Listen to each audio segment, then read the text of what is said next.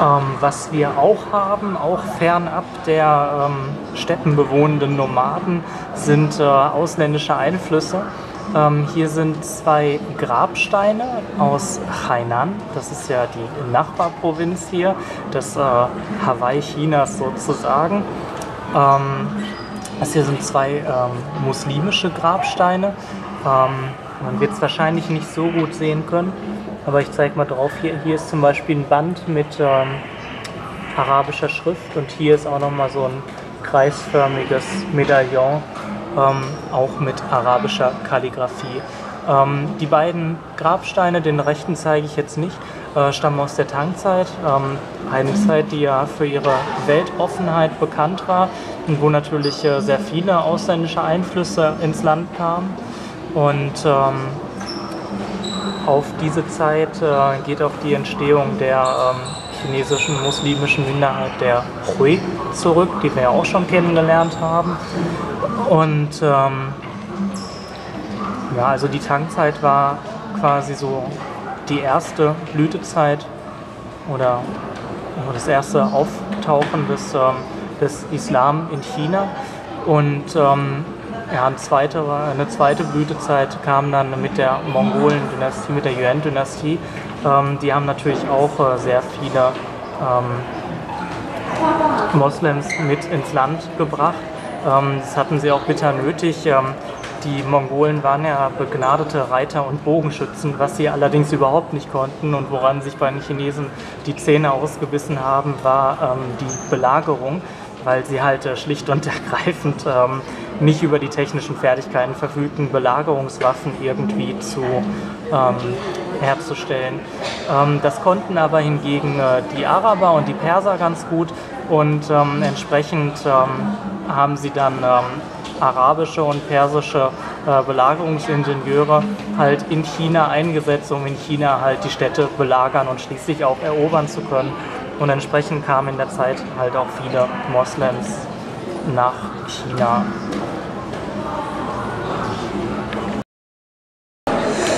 Habe die ungute Befürchtung, dass das diesem Objekt einfach nicht gerecht wird, aber ähm, die Beleuchtung ist leider sehr schwach, deswegen geht es nicht besser als so. Ähm, wir haben hier ein weiteres beliebtes äh, Exportobjekt, nämlich Elfenbeinschnitzereien.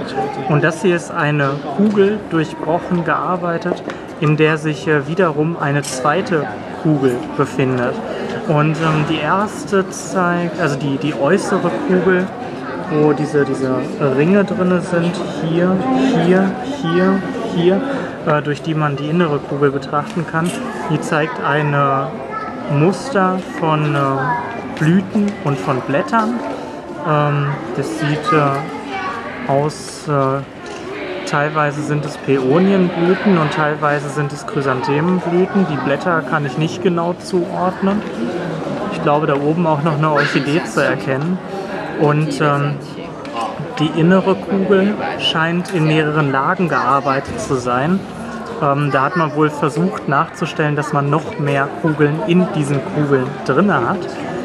Ähm, und die zeigen in verschiedenen Lagen übereinander äh, verschiedene ähm, naja, abstrahierte Blumenmuster, könnte man sagen. Oder auch einfache geometrische Gittermuster. Aber es ist äh, sehr, sehr fein gearbeitet. Und ähm, ja, genau solche fein gearbeiteten Elfenbeinschnitzereien sind es auch, die man äh, oft auch als Kleinodien in den äh, Schatzkammern barocker Fürstenhöfe oder Häuser gefunden hat.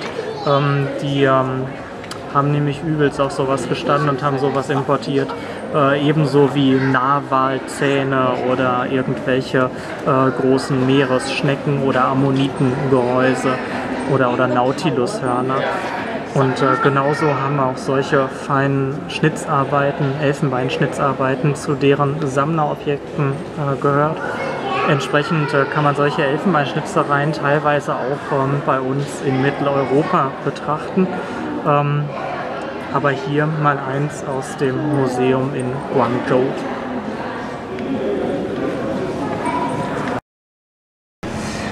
Hier eine Vitrine mit äh, Silberwaren ähm, das hier ist allerhand äh, Tee, Trinkzubehör. Wir haben links unten Milchkännchen, rechts unten einen Zuckerpott und äh, oben eine Teekanne. Ähm, auch solche fein gearbeiteten Silbergefäße ähm, waren ein beliebtes ähm, Exportprodukt, beziehungsweise in Europa Importprodukt, aber die Chinesen haben es exportiert. Ähm, ist ganz interessant, also es schien sich halt wirklich äh, massig Geld damit machen zu lassen, denn soweit ich weiß, ich glaube nicht, dass sich das bis zum äh, Ende der Qing-Dynastie geändert hat, ähm, ist China ein Land, das sehr arm an Silber ist? Und ähm, teilweise war es in der chinesischen Geschichte so, dass äh, Silber sogar wertvoller war als Gold.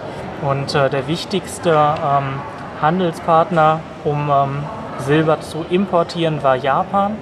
Und äh, entsprechend haben sich die Japaner dann in Anführungsstrichen eine goldene Nase an dem Silber verdient, ähm, weil es nämlich in Japan mehr als genug davon gab und ähm, man das dann halt ähm, nach China verschifft hat für einen horrenden Betrag.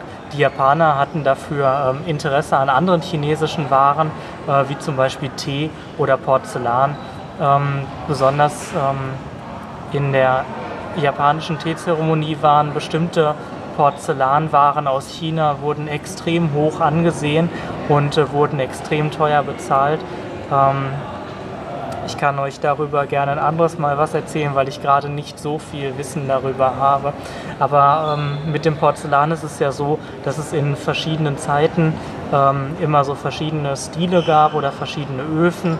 Ähm, Viele von den Öfen existierten auch gleichzeitig, manche über längere Zeit, manche über kürzere Zeit. Und die hatten alle einen relativ eigenen Stil. Und ähm, wenn irgendwas außer Mode geraten ist, dann hat man das immer ausrangiert. Und ähm, bei äh, manchen Porzellan war es so, dass die Japaner so unglaublich drauf flogen, dass sie wirklich ähm, übelst hohe Preise für dieses Porzellan bezahlt haben. Oder wahrscheinlich einfach hier ähm, Silber gegen Porzellan getauscht haben. Was in China einfach nicht mehr in und einfach nicht mehr Mode war, aber einfach den ästhetischen Geschmack der Japaner so getroffen hat, dass sie halt, äh, obwohl es out of date war sozusagen, ähm, wirklich äh, massig dafür bezahlt haben. Wie auch immer, also China auf jeden Fall ähm, ein Land, das arm an Silber ist, äh, hat sich trotzdem ähm, nicht beirren lassen und hat äh, für den Handel mit Europa während der Qing-Zeit ähm, Gefäße wie diese hergestellt. Es gibt ja auch verschiedene Platten oder Servierschalen oder ähnliches oder Kannen. Ähm, aber hier einmal so ein kleines Teeset mit Milchkanne, Zuckerpott und Teekanne für den Export.